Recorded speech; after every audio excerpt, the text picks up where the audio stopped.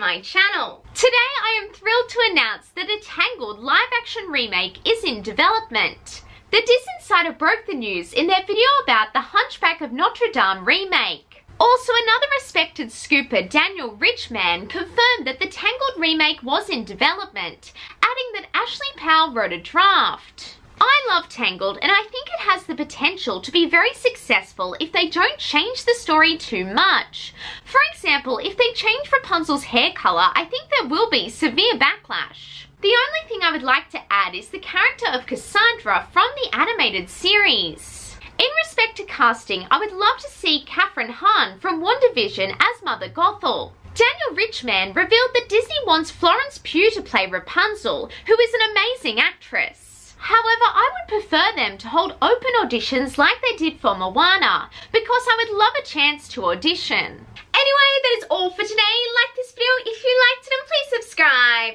It would mean so much to me. Bye now and have a magical day.